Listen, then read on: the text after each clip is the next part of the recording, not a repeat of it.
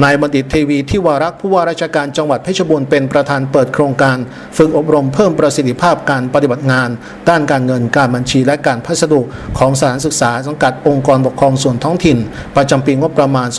2559 รุ่นที่ 1 โดยมีนายพิชิตชิดไพฑูรย์รักษาราชการแทนท้องถิ่นจังหวัดเพชรบูรณ์กล่าวรายงานณห้องสีเทพโรงแรมโคสิตฮิลอำเภอเมืองเพชรบูรณ์จังหวัดเพชรบูรณ์โดยกระทรวงมหาดไทยได้ออกระเบียบว่าด้วยหลักเกณฑ์ และวิธีการนำเงินรายได้ของสถานศึกษา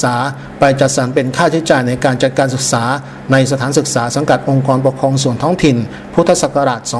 2551 ซึ่งสถานศึกษาหมายความถึงศูนย์พัฒนาเด็กเล็ก โรงเรียน ศูนย์การเรียนวิทยาลัย สถาบันหน่วยงานการศึกษา ในความรับผิดชอบขององค์กรปกครองส่วนท้องถิ่น และกรมส่งเสริมการปกครองท้องถิ่น ได้กำหนดแนวปฏิบัติ ในการจัดสรรงบประมาณรายการ ค่าจัดการเรียนการสอนสำหรับสถานศึกษา โดยให้องค์กรปกครองส่วนท้องถิ่นจะต้องดำเนินการเบิกหัก หักส่งเงินอุดหนุนรายการดังกล่าว เข้าบัญชีธนาคารของสถานศึกษา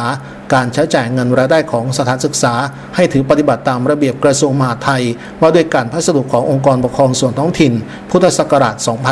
2535 และการรับเงินการเบิกจ่ายเงินการฝากเงิน การเก็บรักษาเงินของสถานศึกษา ให้ถือปฏิบัติตามระเบียบกระทรวงมหาดไทย ว่าด้วยการรับเงินการเบิกจ่ายเงิน การฝากเงิน การเก็บรักษาเงิน และการตรวจเงินขององค์กรปกครองส่วนท้องถิ่น โดยอนุโลม ดังนั้น เพื่อให้องค์กรปกครองส่วนท้องถิ่น ปฏิบัติงานได้อย่างมีประสิทธิภาพ ถูกต้องตามระเบียบและเป็นไปในทิศทางเดียวกันสำนักงานส่งเสริมการปกครองท้องถิ่นจังหวัดเพชรบูรณ์ จึงจะทำโครงการฝึกอบรมเพิ่มประสิทธิภาพ การปฏิบัติงานด้านการเงินการบัญชีและการพัสดุของสถานศึกษาสังกัดองค์กรปกครองส่วนท้องถิ่น ประจำปีงบประมาณ